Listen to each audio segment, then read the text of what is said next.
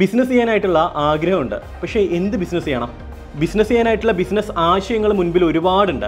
പക്ഷേ ഏത് business idea choose ചെയ്ത് കഴിഞ്ഞാലാണ് വിജയിക്കുക? ഇത്തരത്തിലുള്ള ഒരു കൺഫ്യൂഷനുള്ള വ്യക്തിയാണോ നിങ്ങൾ ഒരു ബിസിനസ് ആശയം സെലക്ട് ചെയ്യുന്ന സമയത്ത് ശ്രദ്ധിക്കേണ്ട പ്രധാനപ്പെട്ട കാര്യങ്ങൾ എന്തൊക്കെയാണ്? ഇന്ത്യയിൽ രജിസ്റ്റർ ചെയ്യുന്ന സ്റ്റാർട്ടപ്പുകളിൽ തൊണ്ണൂറ് ശതമാനവും പരാജയപ്പെട്ടു പോവുകയാണ്. മുപ്പത്തിനാല് ശതമാനം സ്റ്റാർട്ടപ്പുകളും പരാജയപ്പെടാനായിട്ടുള്ള റീസൺ പ്രോഡക്റ്റ് മാർക്കറ്റ് ഫിറ്റ് ഇല്ല എന്നുള്ളതാണ്. പ്രോഡക്റ്റ് മാർക്കറ്റ് ഫിറ്റ് അതായത് മാർക്കറ്റിന് ആവശ്യമായിട്ടുള്ള ഉൽപ്പന്നങ്ങളല്ല ഇവർ ഇറക്കുന്നത്. പലരും നോക്കുന്ന ഒരു കാര്യം ഇതാണ്. റവന്യൂ നോക്കും. എത്ര സെയിൽസ് നടന്നു നോക്കും. സെയിൽസിലല്ല കാര്യം വരുന്നത് ലാഭത്തിലാണ് കാര്യം വരുന്നത്. ആ ലാഭം ഉണ്ടെങ്കിൽ നിങ്ങൾക്ക് ബിസിനസ് മുന്നോട്ട് കൊണ്ടുപോകാൻ കഴിയത്തുള്ളൂ.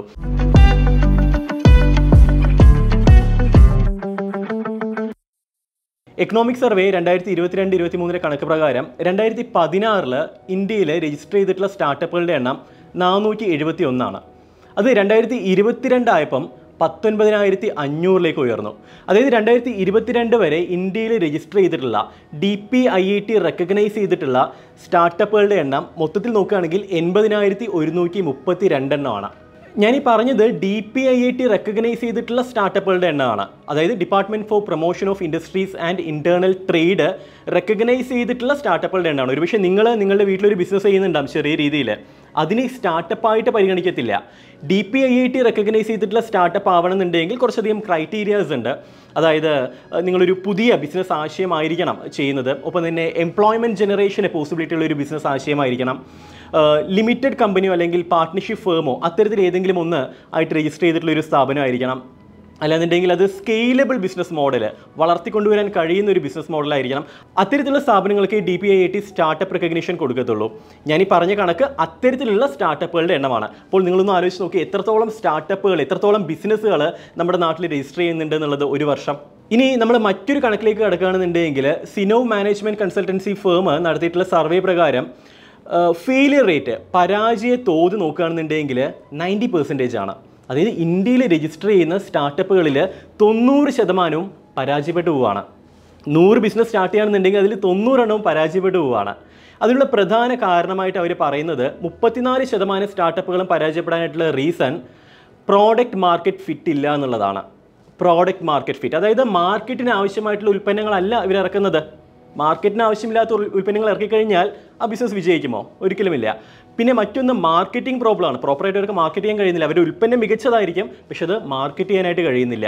പിന്നെ ടീമിനകത്തുള്ള പ്രശ്നങ്ങൾ അതായത് എംപ്ലോയീസിനെ കിട്ടാത്തൊരവസ്ഥ ഒപ്പം തന്നെ ലീഗലായിട്ടുള്ള പ്രശ്നങ്ങൾ ഇത്തരത്തിലുള്ള ധാരാളം പ്രശ്നങ്ങൾ കൊണ്ടാണ് നമ്മുടെ നാട്ടിലെ ബിസിനസ്സുകൾ പലതും പരാജയപ്പെട്ടു പോകുന്നത്. നയന്റി പെർസെന്റേജ് പരാജയപ്പെട്ടു പോകുന്നത്. അതിൽ ആദ്യം പറഞ്ഞ പോയിന്റ് ഉണ്ടല്ലോ. അതായത് പ്രോഡക്റ്റ് മാർക്കറ്റ് ഫിറ്റ് ഇല്ല എന്നുള്ളത്. മാർക്കറ്റിന് ആവശ്യമായിട്ടുള്ള പ്രോഡക്റ്റ് അല്ല നമ്മൾ ഇറക്കുന്നത്. ഈ ഒരു പ്രോബ്ലം വരാതിരിക്കാനായിട്ടാണ് നിങ്ങൾ ശ്രദ്ധിക്കേണ്ടത്. അതായത് ഒരു ഉൽപ്പന്നം തിരഞ്ഞെടുക്കുന്ന സമയത്ത് ബിസിനസ് ചെയ്യാനായിട്ട് ഒരു ഉൽപ്പന്നം തിരഞ്ഞെടുക്കുന്ന സമയത്ത് ശ്രദ്ധിക്കേണ്ട പ്രധാനപ്പെട്ട കാര്യങ്ങൾ എന്തൊക്കെയാണെന്നുള്ളത്. ഞാൻ ഈ ബിസിനസ് കൺസൾട്ടിംഗ് മാനേജ്മെന്റ് കൺസൾട്ടിങ് മേഖലയിൽ കുറേ കാലമായിട്ട് പ്രവർത്തിക്കുന്നുണ്ട്. അതുകൊണ്ട് തന്നെ ധാരാളം സംരംഭകരുമായിട്ട് നിരന്തരമായിട്ട് സംസാരിക്കുന്നുണ്ട്. വിജയിച്ച സംരംഭകർ പരാജയപ്പെട്ട സംരംഭകർ പുതിയ ആശയങ്ങൾ പല ആശയങ്ങളും പരാജയപ്പെട്ടു പോകുന്നത് കണ്ടിട്ടുണ്ട്. പല ആശയങ്ങളും വലിയ രീതിയിൽ വിജയിക്കുന്നതായിട്ട് കണ്ടിട്ടുണ്ട്. അപ്പോൾ ഇതെല്ലാം വെച്ചുകൊണ്ടാണ് ഞാൻ ഈ പോയിന്റ്സ് പറയുന്നത്. ഒന്നാമതായിട്ട് ശ്രദ്ധിക്കേണ്ട ഒരു കാര്യം നിങ്ങൾക്ക് ഏറ്റവും കൂടുതൽ അറിയുന്ന ഒരു മേഖലയിൽ നിന്നുകൊണ്ട് ഒരു ബിസിനസ് ചെയ്യുകയാണെന്നുണ്ടെങ്കിൽ അതാണ് ഏറ്റവും നല്ലത്. നിങ്ങൾക്ക് ഏറ്റവും കൂടുതൽ പരിചയമുള്ള ഒരു മേഖല നിങ്ങൾ നിങ്ങൾക്ക് ഒരുപക്ഷെ നിങ്ങൾ വർക്ക് ചെയ്തിട്ടുള്ളൊരു മേഖല അല്ലെങ്കിൽ നിങ്ങൾ പഠിച്ചിട്ടുള്ളൊരു മേഖല അത്തരത്തിൽ അറിയുന്ന ഒരു മേഖലയിൽ നിന്നുകൊണ്ട് ഒരു ഉൽപ്പന്നം സെലക്ട് ചെയ്ത് ചെയ്യുന്നതാണ് ഏറ്റവും ഉചിതം. അല്ലാതെയും നിങ്ങൾക്ക് ഉൽപ്പന്നം സെലക്ട് ചെയ്യാം. പക്ഷേ സെലക്ട് ചെയ്യുന്ന സമയത്ത് ഒരു കാര്യം ശ്രദ്ധിക്കേണ്ടത് അതിനെക്കുറിച്ച് പഠിക്കാനായിട്ട് ധാരാളം സമയം ഇൻവെസ്റ്റ് ചെയ്യുക. പല സംരംഭകരും ചെയ്യുന്നത് ഒരുപക്ഷെ പ്രവാസികളായിരിക്കാം. അവിടെ ജോലി ചെയ്ത് നാട്ടിലേക്ക് തിരിച്ചു വരുന്നു. ഒരു ബന്ധവുമില്ലാത്ത ഒരു ബിസിനസ് ഐഡിയ ആയിരിക്കും അവർ ചൂസ് ചെയ്യുന്നത്. അത്തരത്തിൽ ചൂസ് ചെയ്ത് ആ ബിസിനസ് ആരംഭിക്കുന്നു. അതിനെക്കുറിച്ചിട്ട് ഒന്നും തന്നെ അറിയുന്നില്ല. സ്വാഭാവികമായിട്ട് എന്ത് സംഭവിക്കും? അവിടെ സ്റ്റക്ക് ആവുകയാണ് അല്ലെ? അവിടെ ബ്ലോക്ക് ആവുകയാണ്. അടുത്ത് എന്ത് ചെയ്യണമെന്ന് അറിയാത്തൊരവസ്ഥ. സോ ഇത് പരിഹരിക്കാനായിട്ട് നിങ്ങൾക്ക് പരിചയമുള്ള ഒരു മേഖല ഏതാണെന്ന് ഒന്ന് ഐഡന്റിഫൈ ചെയ്യുക. ആ മേഖലയിൽ നിന്നുകൊണ്ട് ഒരു ബിസിനസ് ചെയ്യുകയാണെന്നുണ്ടെങ്കിൽ കുറച്ചുകൂടെ ഈസി ആയിട്ട് നിങ്ങൾക്ക് ആ ബിസിനസ് മുന്നോട്ട് കൊണ്ടുപോകാൻ കഴിയും. അല്ലാന്നുണ്ടെങ്കിൽ ബിസിനസ്സിനെ കുറിച്ച് നന്നായിട്ട് പഠിക്കാനായിട്ടുള്ള സമയം സ്പെൻഡ് ചെയ്യുക. പഠിച്ചതിന് ശേഷം മാത്രം ബിസിനസ്സിലേക്ക് എന്റർ ചെയ്യുക. ഇതാണ് ഒന്നാമതായിട്ട് എനിക്ക് പറയാനുള്ളത്. രണ്ടാമത്തേത് മാർക്കറ്റിന് ആവശ്യമുള്ള കാര്യങ്ങൾ ഉൽപ്പാദിപ്പിക്കുക എന്നുള്ളത് അല്ലെങ്കിൽ അത്തരത്തിലുള്ള പ്രോഡക്റ്റ് ഇറക്കുക എന്നുള്ളത്. എന്താണ് ഈ മാർക്കറ്റിന് ആവശ്യമുള്ളതെന്നുകൊണ്ട് ഉദ്ദേശിക്കുന്നത്? സി ഏതൊരു ഉൽപ്പന്നം എടുക്കുകയാണെന്നുണ്ടെങ്കിലും ആ ഉൽപ്പന്നം ഉപഭോക്താവിന്റെ എന്തോ ഒരു പ്രശ്നത്തിനുള്ള പരിഹാരമാണ് അല്ലേ? കസ്റ്റമേഴ്സ് ഫേസ് ചെയ്യുന്ന എന്തോ ഒരു ഇഷ്യൂവിനുള്ള പരിഹാരമായിട്ടാണ് ഏതൊരു പ്രോഡക്റ്റ് മാർക്കറ്റിലേക്ക് ഇറങ്ങുന്നത്. ഈ പ്രശ്നങ്ങൾ പലപ്പോഴും കസ്റ്റമേഴ്സ് ഐഡന്റിഫൈ ചെയ്തതാവാം അല്ലെങ്കിൽ കസ്റ്റമേഴ്സ് ഐഡന്റിഫൈ ചെയ്യാത്ത പ്രശ്നങ്ങളുണ്ട്. ഒരു ഉദാഹരണം പറയാം. പണ്ട് നമ്മുടെ കയ്യിൽ നോക്കിയയുടെ ഫീച്ചർ ഫോൺ ഉണ്ടായിരുന്ന സമയത്ത് അത് നമുക്ക് ടൈപ്പ് ചെയ്യുക എന്ന് പറയുന്നത് അന്നത്തെ കാലത്ത് നമുക്ക് അത്രത്തോളം ബുദ്ധിമുട്ടുള്ളൊരു കാര്യമായിരുന്നില്ല. കാരണം ഇപ്പോൾ ഒരു സി എന്ന് പറയുന്ന അക്ഷരം ടൈപ്പ് ചെയ്യണമെന്നുണ്ടെങ്കിൽ നമ്മൾ എ ബി സി മൂന്ന് പ്രാവശ്യം ഒരു ബട്ടണിൽ അമർത്തണം. ഇംഗ്ലീഷ് ഈ വരത്തുള്ളൂ. ഇത്തരത്തിൽ നമ്മൾ ഒരു ഒരു മെസ്സേജ് ടൈപ്പ് ചെയ്യാനായിട്ട് കുറച്ചധികം സമയം എടുത്തിരുന്നു പിന്നീട് ഇത്തരത്തിലുള്ള ടച്ച് ഫോൺ വന്നതിന് ശേഷം വളരെ സിമ്പിളായ കാര്യങ്ങൾ അന്ന് നമുക്കത് ബുദ്ധിമുട്ടായിരുന്നില്ല. പക്ഷേ ഇന്ന് നമ്മുടെ ഒരു ഫീച്ചർ ഫോൺ കിട്ടിക്കഴിഞ്ഞാൽ നമുക്ക് വളരെയധികം ബുദ്ധിമുട്ടാണല്ലേ? അത്തരത്തിൽ ഒരു ഒരു മെസ്സേജ് ടൈപ്പ് ചെയ്യുക എന്ന് പറയുന്നത് അത്ര ഈസി അല്ല. അന്ന് നമുക്ക് ഇത്തരത്തിലൊരു പ്രശ്നം ഉണ്ടായിരുന്നു നമ്മൾ ഐഡന്റിഫൈ ചെയ്തിരുന്നില്ല.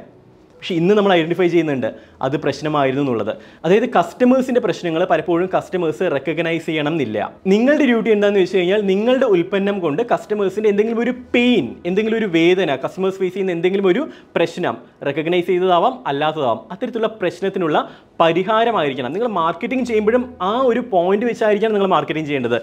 ഉൽപ്പന്നങ്ങളല്ല മാർക്കറ്റ് ചെയ്യേണ്ടത്. കസ്റ്റമേഴ്സിന്റെ പെയിൻ പോയിന്റിനുള്ള റിലീഫ് മെത്തേഡ് ആയിരിക്കണം നിങ്ങൾ മാർക്കറ്റിംഗ് ചെയ്യേണ്ടത്. മൂന്നാമത്തെ പോയിന്റ് മൂന്ന് തരത്തിലുള്ള മാർക്കറ്റാണ് ഉള്ളത് ഒന്ന് ഹൈലി കോമ്പറ്റീറ്റീവ് മാർക്കറ്റ് ധാരാളം കോമ്പറ്റീറ്റേഴ്സ് ഉണ്ട് ധാരാളം ഉപഭോക്താക്കളുമുണ്ട്. ഉപഭോക്താക്കൾ ഉള്ളതുകൊണ്ടാണല്ലോ കോമ്പറ്റീറ്റേഴ്സ് ധാരാളം വരുന്നത് ധാരാളം പേര് ആ മാർക്കറ്റിലേക്ക് എന്റർ ചെയ്യുന്നത്. അത്തരത്തിലൊരു മാർക്കറ്റ് ഉണ്ട്. രണ്ട് അത്ര കോമ്പറ്റീറ്റേഴ്സ് ഒന്നുമില്ല ഉപഭോക്താക്കൾ അത്യാവശ്യമുണ്ട്. അത്തരത്തിലൊരു മീഡിയം ലെവലിൽ നിൽക്കുന്ന ഒരു മാർക്കറ്റ് മൂന്ന് പുതിയൊരു മാർക്കറ്റ് ആയിരിക്കും കോമ്പറ്റീറ്റേഴ്സേ ഇല്ല. അതായത് നിങ്ങൾ ഇറക്കുന്ന ഉൽപ്പന്നം വളരെ ഇന്നോവേറ്റീവ് ഉൽപ്പന്നമായിരിക്കും. ഒരുപക്ഷെ കസ്റ്റമേഴ്സും വളരെ കുറവായിരിക്കും. കാരണം അത്തരത്തിലൊരു പ്രോഡക്റ്റ് മാർക്കറ്റിലില്ല അപ്പോൾ ഈ മൂന്ന് മാർക്കറ്റിലെ ഏറ്റവും ഉചിതമായിട്ടുള്ള മാർക്കറ്റ് ഏതാണ്? ഫ്രഷായിട്ട് നിങ്ങൾ എന്റർ ചെയ്യുന്ന സമയത്ത്. ഹൈലി കോമ്പറ്റീറ്റീവ് മാർക്കറ്റ് ആണോ? അത്തരത്തിലൊരു മാർക്കറ്റിലേക്കാണ് നിങ്ങൾ ഇറങ്ങുന്നതെന്നുണ്ടെങ്കിൽ വലിയ രീതിയിൽ മാർക്കറ്റിംഗ് ചെയ്യേണ്ടതായിട്ട് വരും. വലിയ രീതിയിൽ നിങ്ങൾക്ക് ഇനീഷ്യൽ എക്സ്പെൻസ് വർദ്ധിക്കുകയും ചെയ്യും. ഇനി മൂന്നാമത് പറഞ്ഞ മാർക്കറ്റ് അതായത് കോമ്പറ്റീറ്റേഴ്സേ ഇല്ല പുതിയൊരു ഉൽപ്പന്നമാണ്. ഇത്തരം സാഹചര്യങ്ങളിൽ കസ്റ്റമേഴ്സിന് ഒരു പക്ഷേ ഉൽപ്പന്ന ഉൽപ്പന്നത്തെക്കുറിച്ചിട്ട് ഒട്ടും തന്നെ അറിഞ്ഞൊന്നും വരത്തില്ല. ഈ സാഹചര്യത്തിൽ എന്ത് ചെയ്യണം? നമ്മൾ വലിയ രീതിയിൽ മാർക്കറ്റിംഗ് ചെയ്യണം. വലിയ രീതിയിൽ അവയർനെസ് കൊടുക്കേണ്ടതായിട്ട് വരും. ഉപഭോക്താവ് ഒരുപക്ഷെ അക്സെപ്റ്റ് ചെയ്തു എന്ന് വരത്തില്ല. ഏറ്റവും ഉചിതം നിങ്ങളൊരു ബിഗിനർ ആണ് ഒരു സ്റ്റാർട്ടർ ആണെന്നുണ്ടെങ്കിൽ ഏറ്റവും ഉചിതം രണ്ടാമത്തെ മാർക്കറ്റ് ഉണ്ടല്ലോ. എന്ന് വെച്ച് കഴിഞ്ഞാൽ കോമ്പറ്റീഷൻ ഉണ്ട് പക്ഷെ അത്രയില്ല. ഉപഭോക്താക്കളും ഉണ്ട് എന്ന് വെച്ച് കഴിഞ്ഞാൽ അത്രത്തോളം ഇല്ല ഇത്തരത്തിലൊരു മാർക്കറ്റിലേക്ക് ഇറങ്ങുന്നതാണ് ഏറ്റവും സേഫ് ആയിട്ടുള്ള സോണ് അതിനുശേഷം നിങ്ങൾക്ക് വേണമെങ്കിൽ ഇന്നോവേറ്റീവ് ആയിട്ടുള്ള പ്രോഡക്റ്റ് പിന്നീട് ഇറക്കാം. അതിനുശേഷം ഹൈലി കോമ്പറ്റീറ്റീവ് ആയിട്ടുള്ള മാർക്കറ്റിലേക്ക് എന്റർ ചെയ്യാം. അപ്പോൾ ഏറ്റവും സേഫ് ആയിട്ടുള്ള സോൺ എന്ന് പറയുന്നത് ഞാൻ പറഞ്ഞിട്ടുള്ള രണ്ടാമത്തെ മാർക്കറ്റാണ് എന്ന് വെച്ച് കഴിഞ്ഞാൽ അത്രത്തോളം കോമ്പറ്റീഷൻസ് ഇല്ല. എന്നാൽ അത്ര കുറവ് കോമ്പറ്റീഷൻ എന്ന് പറയാനും കഴിയത്തില്ല. കോമ്പറ്റീഷൻ ഒരു ആവറേജ് ലെവലിൽ നിൽക്കുന്നതാണ്. മാത്രമല്ല ഉപഭോക്താക്കൾ പതിയെ ഇങ്ങനെ എന്റർ ചെയ്തുകൊണ്ടിരിക്കുന്നു. അത്തരത്തിലൊരു മാർക്കറ്റ് ചൂസ് ചെയ്യുന്നതാണ് ഏറ്റവും ഉചിതം ഒരു ബിഗിനറിനെ സംബന്ധിച്ചിടത്തോളം. നാലാമത്തേത് നമ്മളൊരു ബിസിനസ് ആരംഭിക്കുന്നതിന് മുമ്പ് നമ്മുടെ നാട്ടിലെ നിയമങ്ങളെക്കുറിച്ച് വളരെ വ്യക്തമായിട്ടുള്ളൊരു ധാരണ ഉണ്ടാക്കുക. ഈ ബിസിനസ് റൺ ചെയ്യാനായിട്ട് മാർക്കറ്റിൽ ഇറക്കാനായിട്ട് എന്തെല്ലാം പ്രൊസീജിയേഴ്സ് ലീഗൽ പ്രൊസീജിയേഴ്സ് ഉണ്ട് എന്നുള്ളത് പല ബിസിനസ്സുകാരും ചെയ്യുന്ന ഒരു അബദ്ധം എന്താണെന്ന് വെച്ച് കഴിഞ്ഞാൽ അവരൊരു ബിസിനസ് ആരംഭിക്കും. ആരംഭിച്ചതിന് ശേഷമായിരിക്കും ഇനിഷ്യൽ ഇൻവെസ്റ്റ്മെന്റ് ചെയ്യും മിഷനറീസ് എല്ലാം വാങ്ങും. അതിനുശേഷമായിരിക്കും അതിന്റെ ലൈസൻസിങ് ഭാഗത്തിലേക്ക് കടക്കുന്നത് അപ്പോഴാണ് മനസ്സിലാകുന്നത് ഈ ലൈസൻസ് പോരാ ഇനിയും ലൈസൻസുകൾ വേറെ എടുക്കണം. അതിന് ഇത്ര സമയം പോരാ ഇനിയും ധാരാളം സമയം അതിനുവേണ്ടി വെയിറ്റ് ചെയ്യേണ്ടതായിട്ട് വരുന്നുള്ളത്. അതുകൊണ്ട് ഇന്ത്യയിലെ ലൈസൻസിങ്ങിനെ കുറിച്ചിട്ട് വളരെ വ്യക്തമായിട്ട് മനസ്സിലാക്കുക. ഫോർ ഫോർ എക്സാമ്പിൾ നിങ്ങൾ ഒരു പാക്കേജ്ഡ് ഡ്രിങ്കിങ് വാട്ടർ ആണ് ഇറക്കുന്നതെന്നുണ്ടെങ്കിൽ വളരെ സിമ്പിളായിട്ടുള്ള പ്രൊഡക്റ്റ് ആണല്ലോ. നമുക്ക് സാധാരണ പോലെ ഒരു വെള്ളം കുറച്ച് വെള്ളം കുപ്പിയിലാക്കിയിട്ട് പാക്ക് ചെയ്ത് കൊടുക്കാൻ കഴിയത്തില്ല. എഫ് എസ് ഐ ലൈസൻസും എടുത്തുകൊണ്ട് ചെയ്യാൻ കഴിയത്തില്ല. നമുക്കതിന് I S I mark mandatory ആണ്.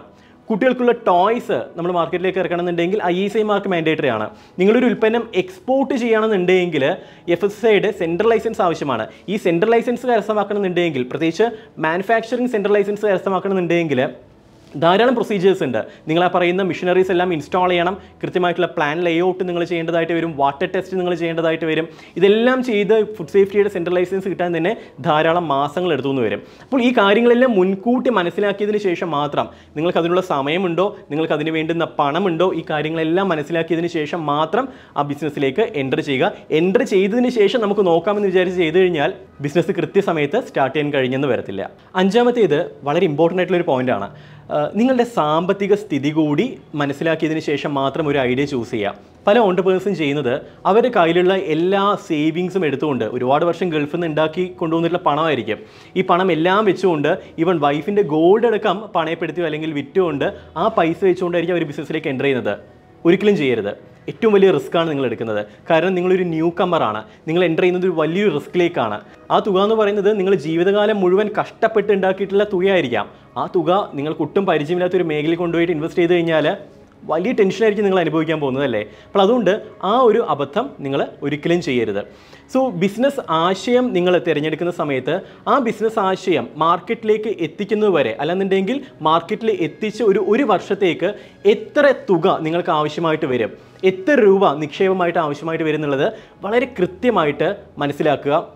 ആ ഒരു എമൗണ്ടിന്റെ ഒരു പതിനഞ്ച് ശതമാനം ഓവർ എസ്റ്റിമേറ്റ് ചെയ്യുക. ഇപ്പോൾ ഒരു ഒരു ലക്ഷം രൂപയാണ് നിങ്ങൾ ബഡ്ജറ്റ് ഇട്ടിട്ടുള്ളതെന്നുണ്ടെങ്കിൽ അതിന്റെ ഒരു പതിനഞ്ച് ശതമാനം അതായത് ഒരു ലക്ഷത്തി പതിനയ്യായിരം രൂപ നിങ്ങൾ ബഡ്ജറ്റിൽ വകയിരുത്തുക. ആ എമൗണ്ട് കരുതാനായിട്ട് നോക്കുക. അപ്പോൾ ഈ പ്രോപ്പർ ബഡ്ജറ്റിങ് ഈ ഫോർകാസ്റ്റിംഗ് വളരെ അനിവാര്യമാണ്. എനിക്ക് പരിചയമുള്ള കുറച്ച് ഓൺടർപ്രണേഴ്സ് ചെയ്തിട്ടുള്ളൊരു പ്രശ്നം ഇതാണ്. അവർ ഈവൻ അവരും ഗൾഫിൽ നിന്ന് വന്നിട്ടുള്ളവരാണ്. കാരണം അവർക്ക് നമ്മുടെ മാർക്കറ്റിനെ കുറിച്ച് കൃത്യമായിട്ട് അറിയത്തില്ല. ഇവിടെ വരുന്ന ചിലവുകളെക്കുറിച്ച് കൃത്യമായിട്ട് അറിയത്തില്ല.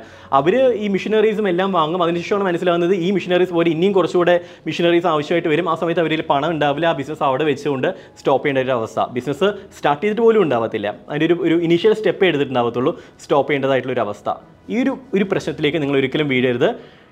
ഒരു വർഷത്തേക്കുള്ള എമൗണ്ട് എത്ര വരുന്നുള്ളത് പ്രോപ്പറായിട്ട് കാൽക്കുലേറ്റ് ചെയ്യുക. ആ എമൗണ്ട് നിങ്ങൾ കയ്യിൽ വെച്ചതിന് ശേഷം മാത്രം ബിസിനസ്സിലേക്ക് എന്റർ ചെയ്യുക. അങ്ങനെ സീറോ ഇൻവെസ്റ്റ്മെന്റിൽ നമുക്ക് നമ്മുടെ നാട്ടിൽ ബിസിനസ് സ്റ്റാർട്ട് ചെയ്യാനായിട്ട് കഴിയത്തില്ല. നമ്മുടെ കയ്യിൽ പണം വേണം. പണമായിട്ട് തന്നെ വേണം. ആറാമത്തെ point consider profit profit consider ചെയ്യുക റവന്യൂ അല്ല.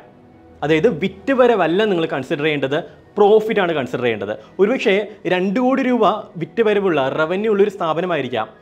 പക്ഷേ പ്രോഫിറ്റ് വളരെ കുറവായിരിക്കാം. അപ്പോൾ നിങ്ങളൊരു പ്രോഡക്റ്റ് ചൂസ് ചെയ്യുന്ന സമയത്ത് ആ പ്രോഡക്റ്റ് മാർക്കറ്റിൽ ഇറക്കി കഴിഞ്ഞാൽ നിങ്ങൾക്ക് എത്ര രൂപ ലാഭവിഹിതമായിട്ട് കിട്ടും എന്നുള്ളതാണ് നോക്കേണ്ടത്. പ്രോഡക്റ്റിന്റെ പ്രൈസ് അല്ല.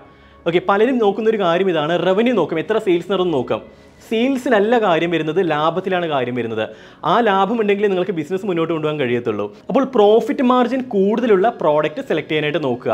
അല്ലെങ്കിൽ വരുന്ന ഒരു പ്രശ്നം ബൾക്കായിട്ട് നിങ്ങൾക്ക് സെൽ ചെയ്യേണ്ടതായിട്ട് വരും. ഇപ്പോൾ ഒരു പ്രോഡക്റ്റ് നിങ്ങൾ ഇപ്പോൾ ഫോർ എക്സാമ്പിൾ നമ്മുടെ നാട്ടിൽ പലരും ചെയ്യുന്നതാണ് ഈ സ്പൈസസിന്റെയും മസാലാസ് പൗഡേഴ്സിന്റെയും എല്ലാം ബിസിനസ് അതിനൊക്കെ പ്രോഫിറ്റ് മാർജിൻ വളരെ കുറവാണ്. സോ ഒരു ഒരു ബ്രേക്ക് ഈവണിലേക്ക് എത്തണമെന്നുണ്ടെങ്കിൽ ധാരാളം ഉൽപ്പന്നങ്ങൾ മാനുഫാക്ചർ ചെയ്ത് ധാരാളം ഉൽപ്പന്നങ്ങൾ മാർക്കറ്റിലേക്ക് ഇറക്കേണ്ടതായിട്ട് വരും. ധാരാളം ഉൽപ്പന്നങ്ങൾ വിൽക്കേണ്ടതായിട്ട് വരും. ക്വാണ്ടിറ്റി കൂട്ടണം.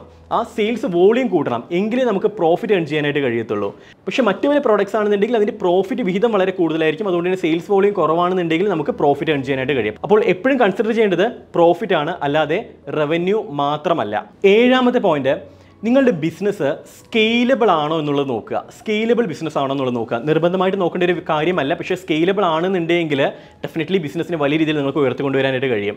എന്താണ് ഈ സ്കെയിലബിൾ ബിസിനസ് എന്ന് വെച്ച് കഴിഞ്ഞാൽ ഒരു ഉദാഹരണം പറയാം. നിങ്ങളൊരു ഷോപ്പ് ഒരു സൂപ്പർ മാർക്കറ്റ് നിങ്ങൾ സ്റ്റാർട്ട് ചെയ്യുന്നത് വിചാരിക്കുക.